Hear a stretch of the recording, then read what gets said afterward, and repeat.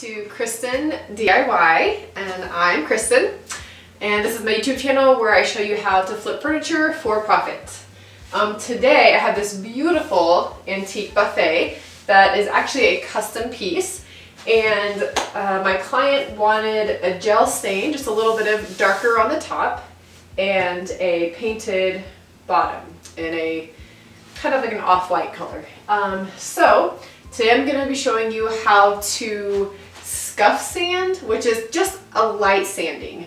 Normally when I use an all-in-one paint, which is typically what I use if I'm not going to distress furniture, um, I don't do a lot of sanding because you don't have to. Um, so I'm not going to be sanding the bottom because I'll be using this all-in-one paint. And all-in-one, um, for those of you who are new to painting, it has the primer, the paint, and the top coat and I love it. It's amazing. Um, there are several different kinds out there, but the kind I use is Heirloom Traditions. Um, and today I'm going to be using the linen color. Um, I'm also going to be scuff sanding the top and using a gel stain, which I love because it's just so much easier than staying and it's not as messy. Um, and so what I use for this is Minwax gel stain and you can just get this at Home Depot or Ace or anywhere and I'm going to be using the walnut color because it is just a little bit darker than what I already have.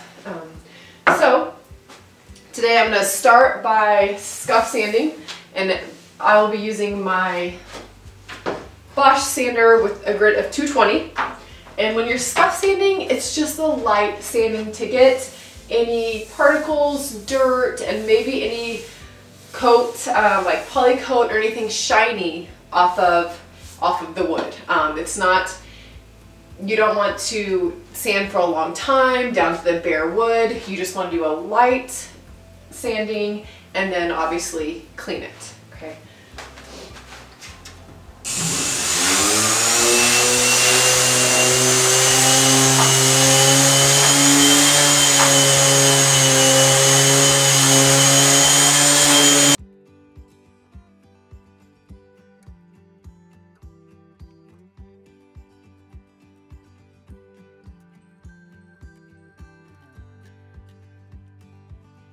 Okay, now that we have the top lightly scuff sanded, I'm just gonna take a little piece of sandpaper that I have. Um, it's 120 grit, and I'm just gonna go around and get in the grooves um, where my hand sander could not get to.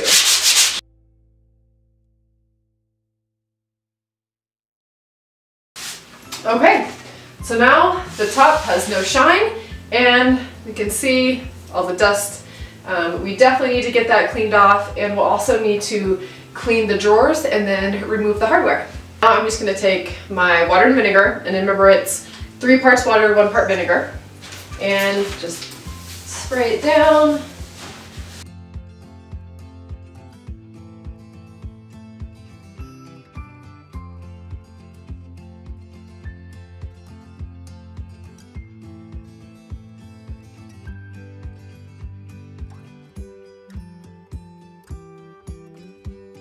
Okay, I um, saved you the boringness of showing you how to remove hardware.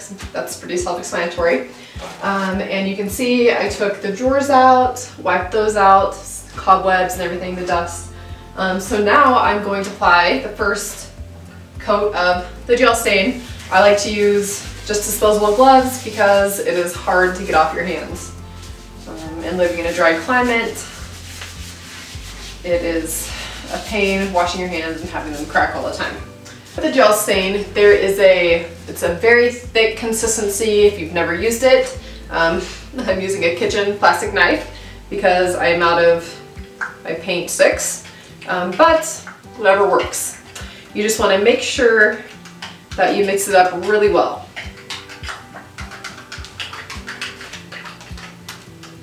You do want to use a lint-free cloth, um, just so you don't get any of that lint on your piece. Wipe it on. You, I usually wait five to 10 minutes and then you wipe it off. Um, and you will see the color stays. So I just take my cloth and I give it a nice smooth rub down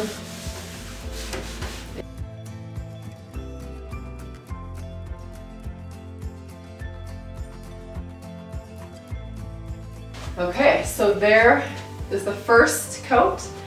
With the wax coat, I'm going to let this dry for about 10 minutes and then I'm gonna come back with a clean cloth and wipe it all down. Okay, so I let the gel stain sit for 10 minutes and so now I'm just gonna come back with a dry cloth and just wipe it completely down. And this is just to get any excess off and to make sure that it's in all of the grooves and everything and it looks nice and smooth.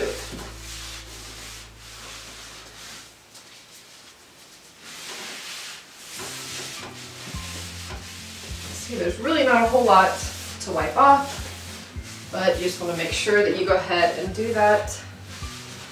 Okay, so I actually am not a huge fan of this color right now. I want it to be a little bit darker. So I'm gonna go ahead and apply a second coat of the gel stain.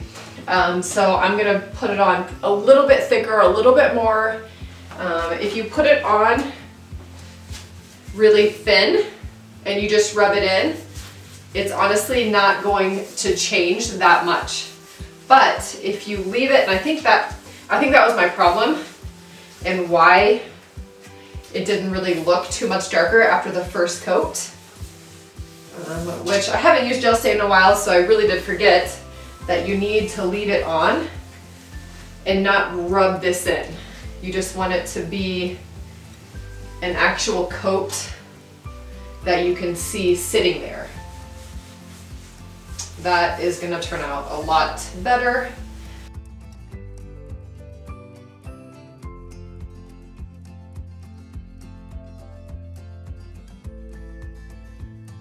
So now I'm gonna let this rest for another 10 minutes and then I'll come back and I'll wipe that down.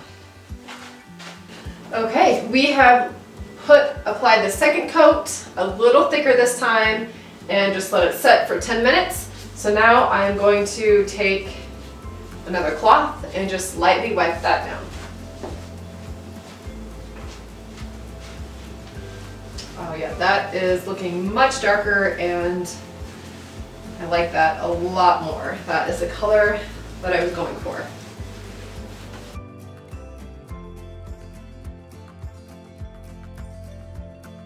Okay, I'm liking that a lot more. Um, it's a little bit darker than it was at the start, um, but not too drastic. Okay, so we will let that dry. Usually I'll let it dry for a few hours and then I apply the top coat.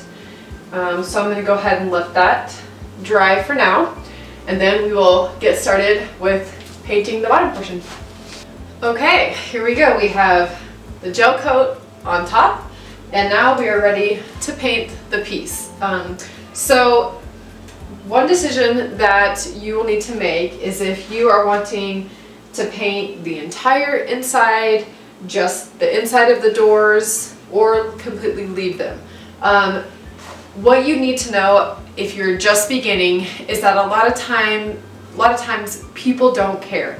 They don't care if the inside is painted. They don't care if the inside of the door is painted. And honestly, on a lot of these pieces, I will just leave it just like this um, and just paint the entire outside. And I love it too with the natural wood because you open it up and you see the beautiful wood inside and it kind of matches. Um, the thing is, most people don't care. You cannot paint the inside at all and you can still make really good money from this. It can be so simple and I just don't want people to think that you have to spend hours taping and you have to paint the whole inside because it is not true at all. Um, so I went ahead and I did put some painter's tape along the edges um, because I'm just going to paint the outside. And so that just makes it nice when you open the door, there's not paint hanging over, um, which I have done in the past, and then I ended up just painting the inside of the door, which also looks nice. Um, so don't worry about if you don't want to waste the time painting the inside um, and you don't have to tape it. Okay, so this is a step that I like to do when I'm leaving the doors as is. Okay, so now we're gonna grab our paint. And again, I'm using just an all-in-one with the primer paint top coat, um, and this is the linen white color, as you can see. Um, so we're gonna get started.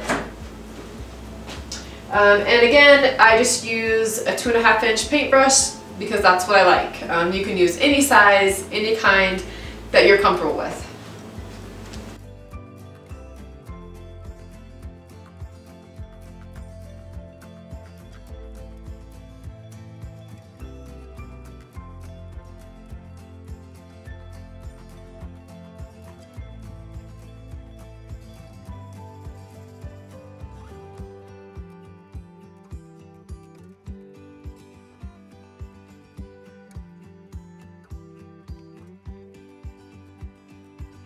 Okay, so yesterday I went ahead and I put on the last and third coat um, on the bottom half. And so now I'm going to put a top coat on just the top of it. Remember, the paint that we use already has the top coat um, in it, so we don't need to worry about the bottom. But for the top, I'm going to use this Rust-Oleum Painter's Touch. It's a clear matte, and um, this is just the top coat that I like to use. I use a variety of different kinds um, and I'll show you those in other videos. But for today, this is what I'm going to use. Um, when you use this, it says to shake for like two minutes. Make sure that you do that, otherwise it'll come out funny and it'll leave marks on your furniture.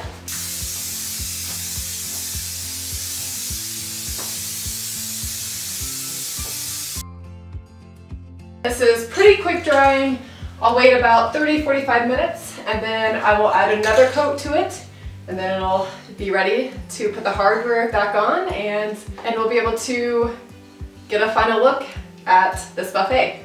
Okay, here is the final piece. I'm so excited about the way this turned out. Um, as you can see, we didn't want anything too drastic with the top. We just want it to be a little darker and look smooth. Um, the wax coat or the spray coat turned out great. And here is an up close of the entire piece.